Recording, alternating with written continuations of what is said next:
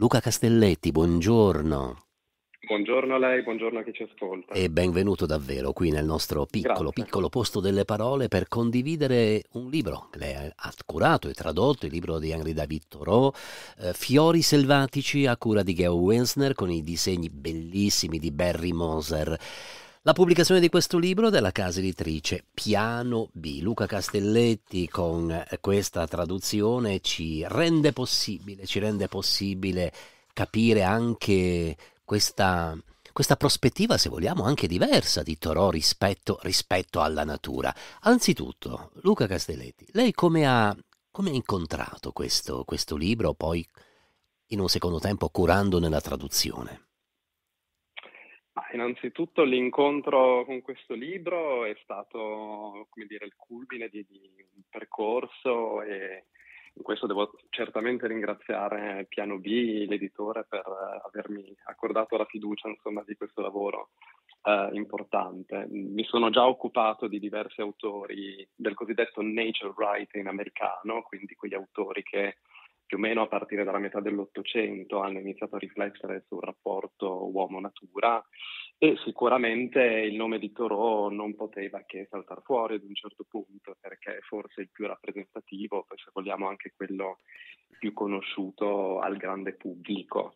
E, e diciamo che è forse uno degli scrittori eh, appunto più conosciuti, ma è anche quello di più difficile eh, più difficile da inquadrare perché fondamentalmente è amato, citato soprattutto e basti pensare poi quanto è stato parafrasato anche poi nel mondo del cinema a partire dall'attimo fuggente fino ad arrivare poi al più recente Into the Wild.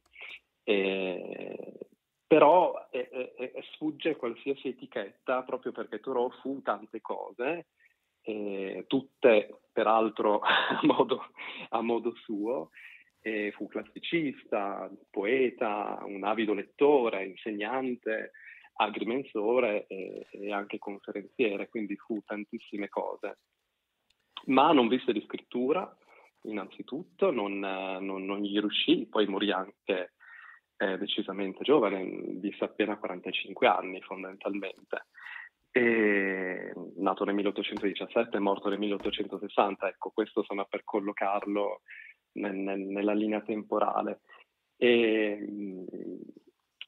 però diciamo che era il suo modo, il suo modo di, di, di, vedere il mondo era, era, era quello di, eh, di, una persona sicuramente che sfuggiva a, a qualsiasi eh, forma di compromesso, che, che, che, forse è il messaggio poi eh, principale che si ritrova sia in, uh, nell'opera più famosa, che, che, è quella appunto che generalmente si ricorda di Thoreau, che è Walden, ovvero La vita nei boschi, ma che poi si può anche rincontrare appunto nei suoi sterminatissimi e vastissimi, nella sua produzione vastissima dei, dei cosiddetti journal, che sono appunto i, i diari. E, Però eh, Henri David Thoreau, sì. eh, noi lo conosciamo soprattutto per la, il suo amore per la natura ed è un amore molto razionale, no? non semplicemente così un amore tanto per, tanto per scrivere. Però eh, di Thoreau è uno degli aspetti importanti, e qui esuliamo un po' da questa scrittura, ma in ogni modo entra anche per certi aspetti. Il suo, il suo scrivere civile, oserei dire anche il suo scrivere politico, no? quando per esempio scrive la disobbedienza civile, no? questo piccolo libretto straordinario, no? anche questo. E quindi, sì, ma... eh, prego, stava dicendo? Sì, ma, eh, diciamo che il, il, il, suo, um, il, suo, la sua lettura della natura è in fin dei conti quello che poi lui appunto riuscì a fare di, di persona quando decise, quando inaugurò insomma, la sua avventura di vita nei boschi per due anni, da cui appunto nacque l'opera appunto Walden, ovvero la vita nei boschi.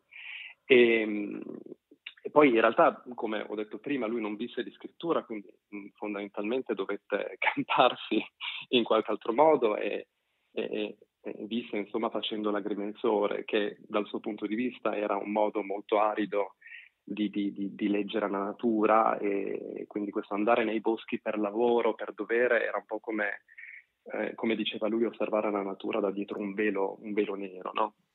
perché lui invece preferiva appunto eh, osservare la natura eh, per puro piacere e, e, perdersi appunto in queste osservazioni.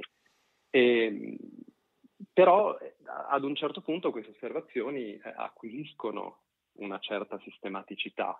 Poi eh, lui ha tenuto i diari per, per tutta la sua vita, eh, esortato ovviamente da, da, da Emerson, che, che, è stato insomma il suo ispiratore, il suo mentore, possiamo definirlo proprio così, eh, ad un certo punto Thoreau l'aveva anche imitato nei, nei, modi e nello stile, poi a poco a poco negli anni con la maturità ha trovato appunto una sua, una sua capacità espressiva. Però i, i diari sono da un lato testimonianza de, dell'evoluzione del pensiero di Thoreau, ma sono anche um, come dire, un modo molto personale di approcciarsi al mondo della natura, che appunto, come dicevo prima, sfugge a qualsiasi forma di etichetta. E mh, questo modo di approcciarsi alla natura, però, ad un certo punto decide eh, razionalmente di diventare più sistematico, perché Thoreau voleva ad un certo punto conoscere veramente eh, nel minimo dettaglio, in modo molto approfondito, il, mondo mh, floreale e della vegetazione della sua terra della sua cittadina che era concorde appunto nel... E qui veniamo, e qui veniamo al, all'incontro di Thoreau con le scienze botaniche. Come avvenne questo incontro? Ma l'incontro con le scienze botaniche è avvenuto già uh, in età abbastanza precoce, nel senso che Thoreau comunque aveva studiato, eh, aveva studiato botanica, e, mh, l'aveva studiato con Concord Academy e poi dopo aveva anche studiato ad Harvard, quindi è stato un incontro abbastanza precoce. Da prima, eh, come dire, si era approcciato al mondo della botanica in un modo un po', se vogliamo, amatoriale, eh, per puro piacere, e poi in seguito ad alcuni incontri importanti che ha fatto durante il suo percorso, eh, anche se appunto non ha mai studiato botanica, come dire, decidendo di specializzarsi in botanica, perché ripeto, poi lui ha fatto altro nella vita fondamentalmente, però ehm, si era imposto volontariamente di acquisire una conoscenza sistematica. E quindi aveva iniziato a leggere i testi che erano disponibili appunto al, nel, nel, suo tempo e uh, cercando di memorizzarne sia i nomi, uh, dapprima in volgare e poi dopo si era imposto di memorizzarne anche i nomi uh, della nomenclatura latina scientifica, perché il suo scopo era proprio quello di riuscire a ricordare e identificare qualsiasi, eh, qualsiasi elemento, oggetto naturale che eh, lo circondava. E, e se, se, ci pensiamo, insomma, è oggettivamente un'impresa, è un'impresa titanica, anche perché lui nelle sue osservazioni non escludeva nulla, perciò eh, includeva anche eh, piante infestanti, erbe che generalmente non, vengono, venivano, perlomeno all'epoca, non venivano prese in considerazione dai botanici eh, canonici, accademici. E, e, quindi insomma si, si imbarcò ad un certo punto della sua vita e questo avviene più o meno in corrispondenza poi del, del termine del, de, della pubblicazione insomma, di, di, Walden, quindi da, dopo il 1854, che da un lato gli aveva dato fama, ma non quella fama sufficiente poi per, per poter vivere come, come, scrittore o come conferenziere. E da quel momento in poi, però, appunto, Thoreau eh, affronta lo studio con una certa sistematicità e mh, raggiungendo risultati decisamente eh, stupefacenti, perché a detta anche di, eh, ci sono studi che lo dimostrano, saggi che lo dimostrano, eh, a detta appunto di eh, botanici dell'epoca, suoi contemporanei, la, la, la conoscenza che aveva acquisito Thoreau era infinitamente profonda, lui riusciva a, a riconoscere i fiori non soltanto da ancora prima che sbocciassero, ma anche soltanto intuendo nell'aroma, percorreva miglia e miglia, tre di chilometri a piedi pur di andare a vedere la stessa specie di, di fiore o di pianta o di albero eh, per vedere e, scoprire esattamente in quale momento dell'anno, in quale giorno, addirittura in quale ora eh, avveniva la fioritura. Eh, oppure cadevano le foglie, oppure si, si voleva soffermare ad osservare le diverse sfumature di colori degli aceri rossi, degli aceri americani in autunno, erano, erano questi gli elementi che, che lui andava, andava, a cercare. E in questo era diventato sicuramente, probabilmente, credo di non esagerare quando dico che era diventato il più esperto del suo tempo, sicuramente nell'area geografica, nell'area geografica di Concord, anche perché, lo aggiungo come osservazione a margine, si potrebbe pensare di un, di un, grande amante della natura come Thoreau anche come un grande viaggiatore, come è avvenuto ad esempio per altri nature writers, ovvero scrittori di natura, ma in realtà per Thoreau non è così, nel senso che Thoreau eh, ha sempre viaggiato molto poco, se si escludono alcune gite che fece con il fratello prima che morisse, in realtà lui è sempre stato nella sua amata Concord e non se ne è allontanato più tanto, quindi sicuramente conosceva il territorio molto molto bene. eh sì, stando a Concord, analizzando il paesaggio d'intorno, i boschi d'intorno, conoscendo le varie piante, purché non fossero le piante di casa, per le quali lui non ha mai provato il benché minimo interesse. Ma in questo libro che ci fa incontrare il diario, il journal di Thoreau, incontriamo, incontriamo, le piante in un racconto veramente molto molto particolare, attraversate anche da dei segni che sono, dai, dei disegni che sono altrettanto particolari, quelli di Barry Moser. Sì, è vero.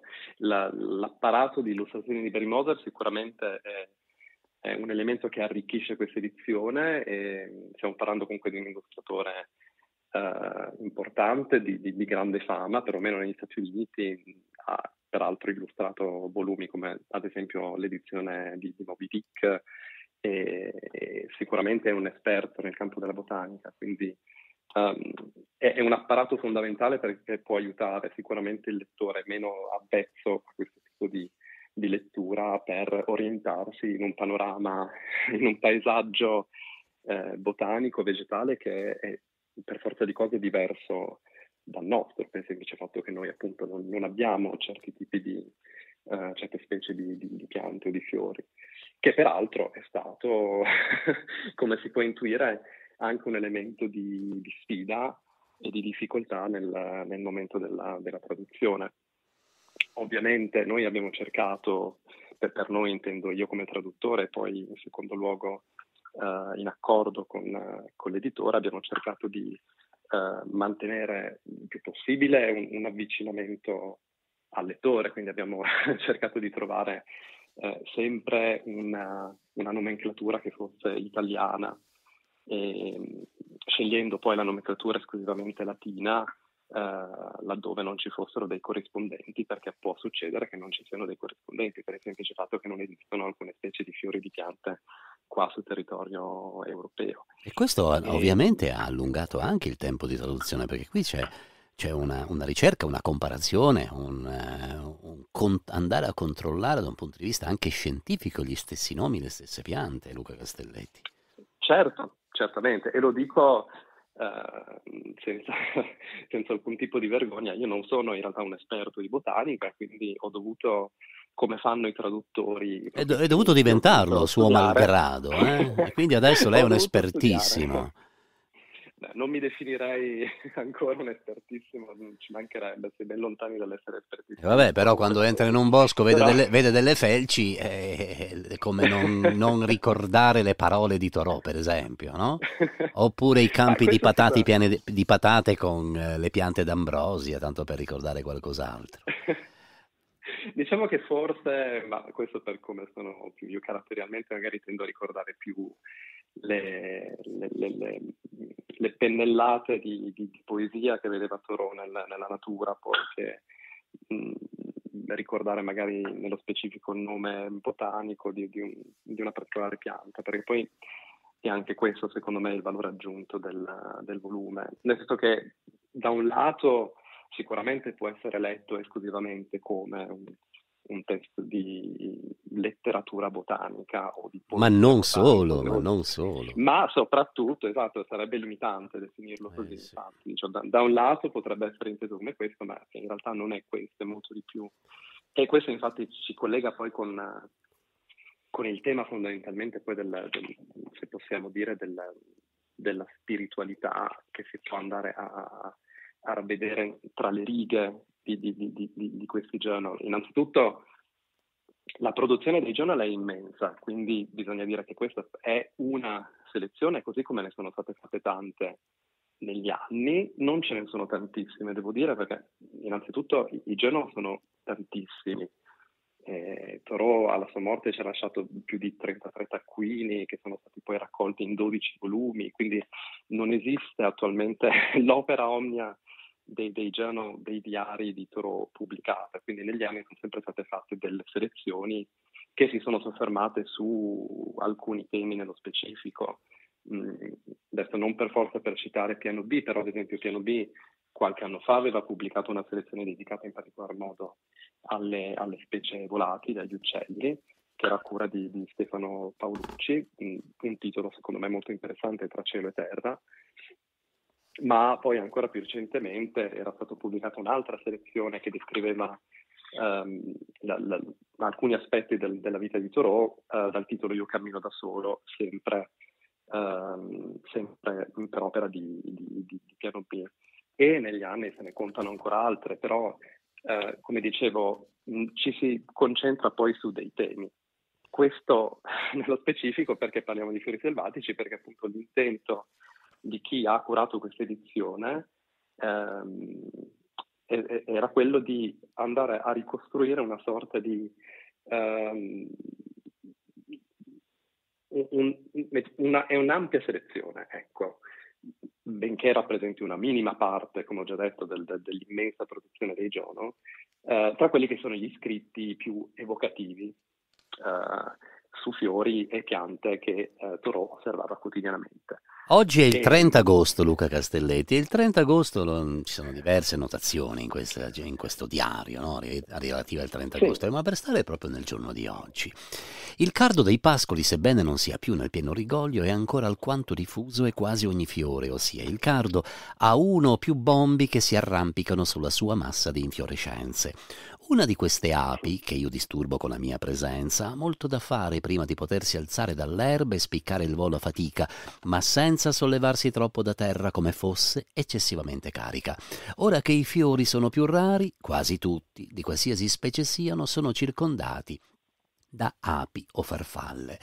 E le api hanno rappresentato un elemento di grande attenzione perché poco più in là, quando disserta sul, sulla parola paesaggio, no?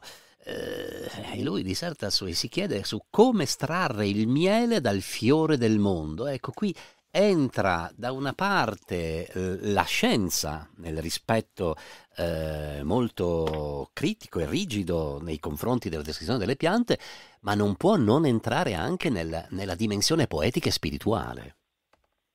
Esattamente, esattamente così. Ed è, è, sono proprio questi squarci che, che, lui riesce a creare ogni tanto da osservazioni in sola apparenza meramente botaniche che poi illuminano eh, tutta la, la lettura di, di, di, di, questo volume, perché appunto um, questo osservare la natura nel, nel suo cambiare, um, attraverso le stagioni, perché è così che è impostato il volume, cioè segue un andamento cronologico solare, cioè segue l'andamento appunto di un anno solare, quindi noi partiamo, il libro si apre con il mese di marzo, quindi con eh, il freddo ancora con le nevi che coprono le praterie e poi dopo arriviamo eh, a chiudere l'anno intero, quindi è un percorso come dire di di, di, di, avvicinamento al caldo e alla bella stagione a partire appunto da, da, dalle, dalle, prime nevi che, che si sciolgono.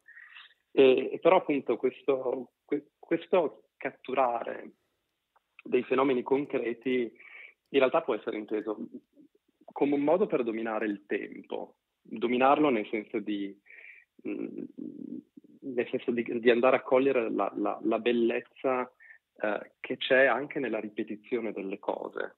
Thoreau diceva che la bellezza vive in rima e, e questo suo osservare periodicamente il fiorire di, di, di, un albero o, o un, di, una particolare specie di fiore eh, era, sicuramente non va interpretata come una stanchezza o una pigrizia intellettuale. Thoreau sicuramente non sarebbe stato quella cosa lì, anche perché eh, stiamo parlando di, di, di, una persona che non avrebbe mai letto un libro due volte, non avrebbe mai ripetuto un concetto, quindi questo voler andare a registrare ripetitivamente le cose sicuramente ha un altro, un altro significato nel, nella sua opera. E quindi, secondo me e secondo alcune teorie appunto di interpretazione, questa cura del particolare con cui Thoreau appunto eh, cerca di mettere nei suoi scritti è una sorta di tentativo di andare a trovare una composizione organica e armonica laddove c'è un'apparente eh, informità della realtà naturale. Quindi è un modo per fermare il tempo, per dare armonia a, a un qualcosa appunto che di per sé non ha forma come la realtà naturale. E se vogliamo eh, possiamo anche leggerlo in un altro modo, ovvero che questa, questa ripetitività eh, che, che, segue appunto l'andamento solare, il calendario, è una sorta di, di liturgia naturale, se mi potete passare l'espressione. Ben inteso, Torò era, era laico, quindi non, non, c'è nessun riferimento religioso, però questa forma di perfezionamento e di ascesi che si prolunga nel tempo, un anno uguale all'altro, eppure un anno che sembra un poco più in alto dell'altro, come una sorta di insieme di successive tappe obbligate, no? di un approfondimento spirituale. E, e, quindi questo secondo me è il, uno degli elementi che, che, aggiungono spiritualità in questi scritti, che sono solo in apparenza appunto delle osservazioni botaniche. Cioè una sorta di, di perfezionamento e di ascesi nella, nella ripetitività e, nella, e, nell'approfondimento del dettaglio del, dei fenomeni naturali. Delle...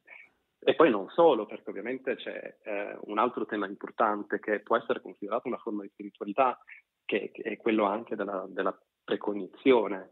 Um, il tema della precognizione che peraltro non è nuovo in Toro perché si ritrova anche in, in Walden, però fondamentalmente quando parlo di precognizione intendo il fatto che cioè, c'è un passaggio, ad esempio, in cui lui, eh, Thoreau, coglie un, un, ranuncolo, un fiore di ranuncolo, e, e, e vi trova al suo interno un, un bocciolo eh, bianco, pronto ad aprirsi, e, e, lui dice proprio queste parole.